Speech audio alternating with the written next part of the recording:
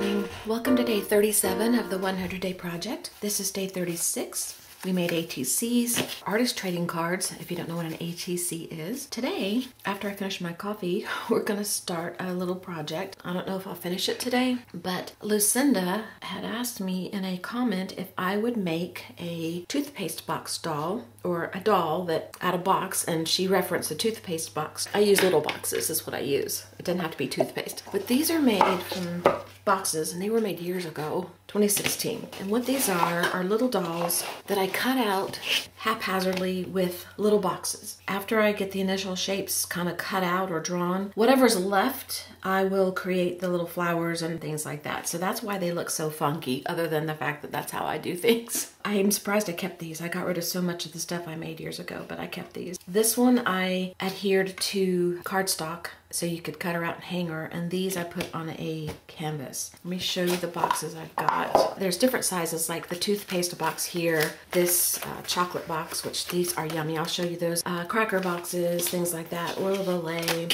little cookie box. Then they go bigger, like a cracker box back here. You can use cereal boxes and things like that. So I used a couple small boxes, I think is what I did. Probably something like this and probably a toothpaste box to make those over there. So I'm gonna go through and grab out what I need. Then I'll show you what else I'm gonna use. And the other thing I did with the leftovers of the box is made these little pieces here on these little canvases. They're two and a half by three. So I just used the leftover pieces and made little art pieces with them. And I love these. I still think these are cute.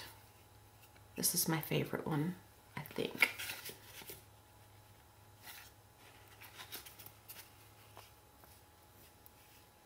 I think that's all, yeah. So if we have any leftover pieces, maybe I will find some of these. I think I still have some and we'll make some of these. I don't know. Okay, let me pick out a box or two while I drink my coffee. I'm gonna mold this over. I saved out this Oil of Olay box, this cookie box, toothpaste box, and this little toothpaste box. And I was gonna tell you, this chocolate, Lindt Excellence Intense Orange Natural Flavor Dark Chocolate. This is so yummy. If you haven't tried it, you gotta try it. Okay, so I've been looking at the girls here, trying to decide which box I think I wanna work with. And this one here requires a little bit bigger box so that one of those cookie boxes would work. The skinny girls, I might kick it out of a toothpaste box. And I also don't know if I'm gonna put them on the canvas or put them on a piece of paper. So what I have here to work with is a cutting mat and an X-Acto knife. I'm gonna be using a pair of scissors. I don't know that I'll need these, but they're here just in case. I definitely will need scissors. And I have the canvas over here that I actually used for these girls, four by eight, three quarter inch thickness wood panel. I don't know how I'm gonna paint them, if I'm gonna cover them with scrap paper or painty paper. They're called Little Misfits. There's a video on these, and the video is rather long. The video won't be as long today, I don't think. I think I'm gonna challenge myself, and I'm gonna see what I can come up with with this box. The first thing I wanna do, and I'm going from memory here, I should go look at my own video, but I don't really have the time. I'm curious what I did. I don't remember. First thing I think I did was I took apart my box because I don't want my box to influence anything other than the pieces, the individual pieces. I don't want the, the full box to be the influence after I get it open. And I get off all the extra paper and stuff like that. After this is open, then I'm gonna take all the creases that the box has, just like we did our bookmarks, if you were here with me for those. And if you weren't, why not? Where you been? and I'm gonna tear apart the box. And I'm just gonna tear apart at every little crevice. And I don't know what this will be or if we'll even use it, but it's part of her right now as far as I'm concerned. There's a girl in this box and we're gonna get her out. Okay, so let me take apart the box. Okay, my box is taken apart and someone's going to say to me, possibly, so I'll, I'll hedge off. Why would you take the box apart completely? Why wouldn't you just leave it like this and then work with the box all in one piece and that way you'd have enough room to make whatever size skirt or bodice or arms or whatever that you wanted? Well, I could, but what is the fun in that? Where is the challenge? I ask you. the challenge is for me to take this apart. Now I have these little pieces to work with and I've got to come up with a skirt and a bodice and I've got to come up with arms and legs and a head we will see what I come up with, and that's the challenge to use the little box pieces. After I've got all that apart and you've got all your little extra pieces removed that you don't need, you want to evaluate your shapes. See if anything jumps out at you that you might could use for something. Like I'm probably thinking that one of these pieces might be her head. You know, it's big enough for a head. So I could think of this as a head. I could think of these as possibly arms. Her legs could come out of here or here. One of these could be a hat. So what I did, if I remember correctly, is I grabbed a pencil and I first drew out my skirt. I'm gonna attach these. I'm gonna draw them individually, then I'm going to attach them. And that's why when they get put together, they don't look all even and perfect because they're made individually. They're not all one piece. She's made up of a lot of things. So good luck to me, right? So I have to decide, do I want my skirt to be long or do I want it to be short? Or do I want to attach two pieces? Like I could make a skirt this way and then make it bigger this way and then attach it here and then put a little ruffle in here so that it looks like it's one piece. I think what I'm gonna do is make her a chunky girl. I don't know why. I just think I do. I'm seeing feet. These are shoes.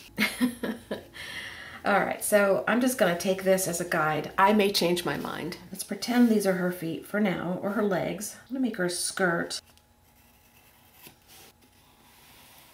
Like that. I'm gonna go ahead and cut it out. That way it stops me from fretting and thinking, what else can I do? What else can I do? This forces me into my position to work. I can alter this. I don't have to stay with what I originally cut. You can change it. Like if I wanted a more narrow waist, I could come in and cut it like that. And I might do that. And you just keep altering it till you get it where you want it. Okay, this is her skirt so far. Now I have these extra pieces here that came off of this piece. And I have this piece and this piece. So these could be little wings, could be little pigtails. You just never know. Every little piece that you cut off could potentially become something else. This could be her bodice. She could have a lumpy body. this could be her head with a cool hairdo. I want to save these just in case, so we'll start on this one. And I'll just stick it there like I'm going to attach these two. I'm going to start drawing from the skirt edge where the skirt is, right here and here, the little waist, and then I'll make my shape however I want it. This is the fun of this. You never know what you're going to get. No matter how hard you try, you're going to get something funky. And that is so fun to me. Okay, she's not going to be chunky after all. Evidently, I can't do chunky very well. Except in real life. I do that really well. Off and on.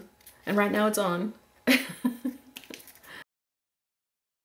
Just get it to where you're happy. All right, so we have a bodice and we have a skirt and now we need her feet. She could be a ballerina. Those little pieces make her look like a ballerina. These here, she's on her tippy toes. And if I did it this way, it looks like she's jumping through the air. How about that? There we go. That's so cute. I could make this the waistband. I can make it a belt to cover that seam. We'll wait and see. So I need a head. This might work. So let's put this aside for a minute and bring this back. And I'm gonna stick this other piece down here so that I can connect her head.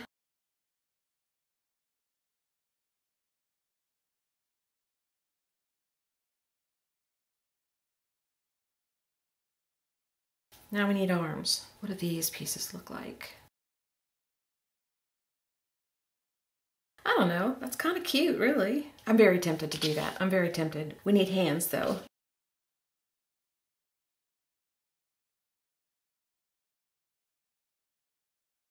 I feel like I should make her hands pointy because her feet are pointy. Now I need some hair. I want her hair to be kind of flowing out from her body. If I set it on her head, let's see if I can make it work. That's a cute hat. All right, this is messing me up. So we're gonna move this to the side.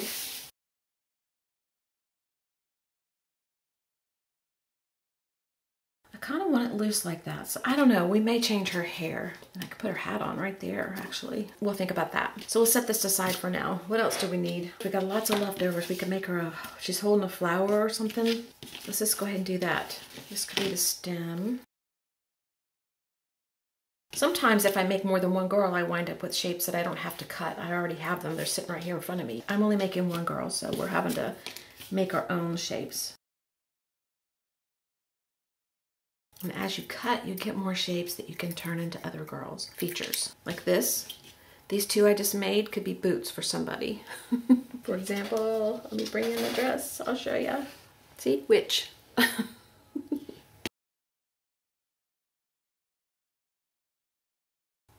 Be too big a flower for her. That's kind of cute like that. Maybe we'll go with that and we'll always be able to add more if we need to. So next thing I want to do is I want to paint all my pieces. And I think what I'm going to do for her is I'm going to put her on paper. So I'm going to get a piece of cardstock. Keep your scraps nearby because we might need them. Okay, I was looking through my papers to try to find a paper that wasn't too heavy. I didn't want a heavy like 140 pound watercolor or mixed media paper. I found a 90 pound mixed media paper and that would probably be fine. This way I can glue all her pieces to the paper and I can cut it out or take my my X-Acto knife and go around her, or I can leave her on the paper and use her for something else. One thing I found while I was looking for my papers is some painty papers. I call them painty papers. It's just papers that I throw excess paint on when I'm done using it, my brush. And I had all these papers stuck in this book, and I thought, hmm, and this is excess paint. I would just went, and then I threw drew lines with the green and just put black blobs. And I mean, it looks terrible, really, but um, I thought maybe, maybe I should use one of these papers to put her down because there's already a background. If I wanted her to have a background, maybe this one. I don't know. You can put her down on a blank sheet of paper though, and then make your background or don't have a background at all. I hadn't intended on giving her a background, but when I saw these, I thought maybe she'd be cute on that. I'm gonna keep that in reserve and possibly use it, but if I don't use this, I will be using this paper here. And this is gonna influence the colors I use because I want her to stand out or I'll have to push this back a little bit, which I've done before, so it's no big deal. If I just use a blank piece of paper, then it doesn't really matter. I've given you the concept, I've given you the idea. I'm gonna go off camera and I'm gonna play with these pieces and I'm gonna tweak them until I get them where I want mine. So you do the same for yours. I'm gonna try to piece mine together, the pieces I really like, just to keep them together. I'm gonna take a little piece of washi tape and put it on the back I'll be removing it to paint it, but I want it to stick together right now just so I can test my pieces out. So just use washi tape to kind of keep everything in place until you're satisfied and you know that you're gonna keep those shapes. Okay, as far as I know, there's my girl. I've twiddled with her and tweaked her just a little bit. I did cut down the bodice a little bit so that it wouldn't stick so high up on her. I did change her hair. She looks like she's got a little punk rocker hair going on, which I think was gonna be cute. I kept this piece in case I wanted to put it behind here like a ponytail coming up. I changed her arms because I wasn't loving those funky arms, but I did keep her legs. And I kept every little piece except the tiny, tiny ones that I cut out because that's what I used to create these and then I'm just gonna take paint, choose the colors that you like. What I do is I decide on the color for my bodice and my skirt and I kind of make them, they don't really have to match, but I make them kind of look like they're gonna match a little bit. I am gonna put some gesso down on mine because I don't want all the color to soak into the box. And I'm just using Liquitex gesso Okay, all my pieces are gessoed and I did add a couple of coats because this gesso seeped right into the box and gesso just serves as a barrier between your box and your paint and your paint will sit on top easier. If you didn't have the gesso, the paint would soak into your box and then you'd have to add more to make the color you want. Usually I don't care about that. I'm gonna start painting. I'm gonna give her skirt a couple of coats of different colors. I wanna make her bright and festive and happy.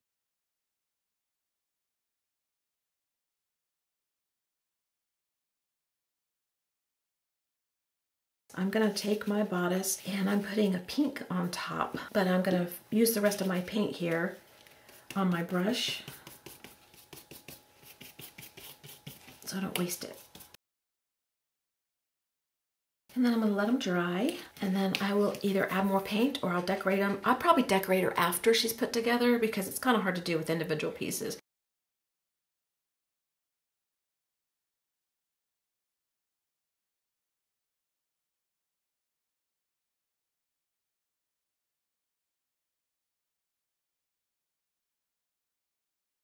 Okay, I am done painting my first round. Maybe I'll add a little more paint. I might add a little more something to each one, but probably I'll assemble her because I need to have her assembled to really bring her together. I like to get as much done separately as I can though because it just adds to the challenge and the fun. But at some point you have to put her together so you can see what she's gonna look like. So let these dry. Okay, my pieces are dry except for the hair. I went and had lunch and when I came back I thought, you know, I really think I wanna put her on this background that I threw extra paint on. I think she'd look really cool and I thought her hair will blend in too much with these flowers so I just put a darker color on her hair is all. So it's drying. It shouldn't take too long though. Okay, so I'm gonna set her out here and I'm gonna see what she looks like and if I like her this way, because I'm pretty sure I will, but you know, you never know.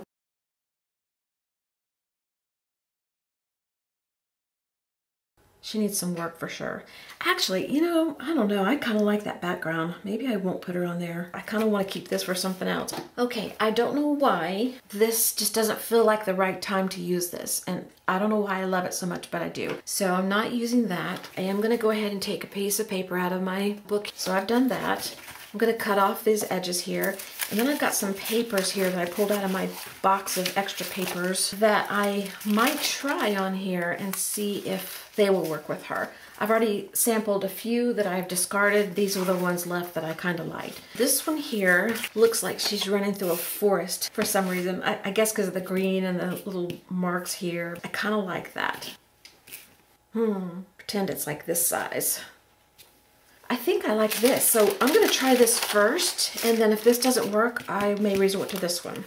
Or we may just go with a blank sheet. This is not gonna cover my sheet of paper completely. I'm gonna find something that I can fill in up here. Okay, I found this piece in my box, and that will work perfectly. I'm gonna get all my piecing done, glue my paper down. Once this is finished, I'm gonna trim off the excess. Okay, I have my background put on my paper. I trimmed it up and I laid my pieces down just haphazardly just to see if I'd like her. I'm still not sure. I think I will, but I think I'm gonna have to tone down the background. We're not done with her. She's gonna have to be spruced up some. She needs a face. There's a lot more to do to this and I just can't do it today. So I'm gonna stop the video here and we will pick up tomorrow. I think we can get her done tomorrow. All right, I'll see you tomorrow for day 38. Bye-bye.